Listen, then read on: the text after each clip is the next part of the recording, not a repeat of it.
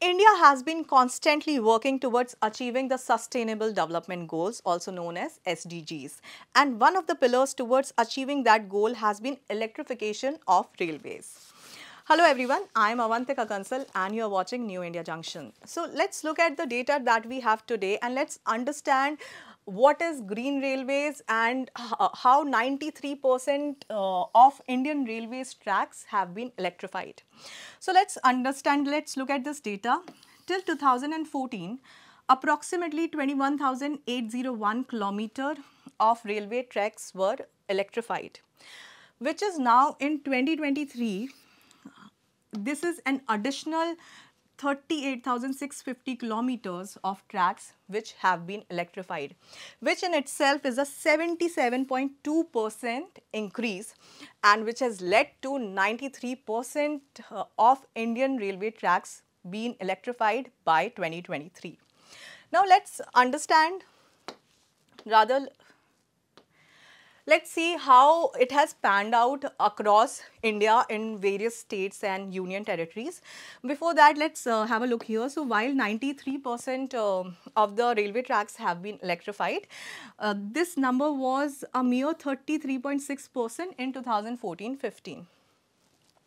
So, uh, if we see the map, we can clearly understand that uh, more than 10 uh, states and union territories have seen 100% electrification. To name with JNK, then Himachal, Chandigarh, Uttarakhand, Delhi, Uttar Pradesh, Jharkhand, Chhattisgarh, Orissa, Telangana, Madhya Pradesh and Meghalaya. So, and also Puducherry.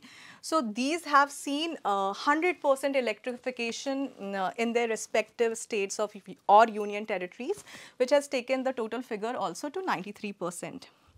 But what we need to understand here is that what are those steps which have been taken by the Indian Railways to achieve such a phenomenal figure. So first has been creation of Gati Shakti Directorate. So which is for speedy approval of projects and ensuring effective project monitoring mechanism, the Gati Shakti Directorate. Then prioritization of projects have been done, also substantial increase in allocation of funds. And not only this, but also delegation of power at the field level.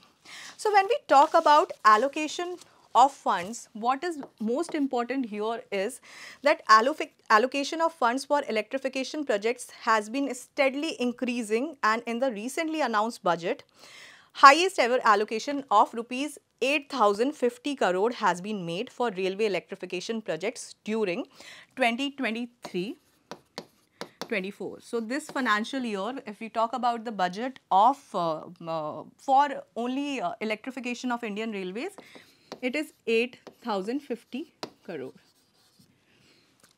So clearly the electrification has helped to reduce dependency on imported crude oil and also save foreign exchange. But not only this, this has also increased the average speed of trains and pollution has been drastically reduced due to the electrification of Indian Railways.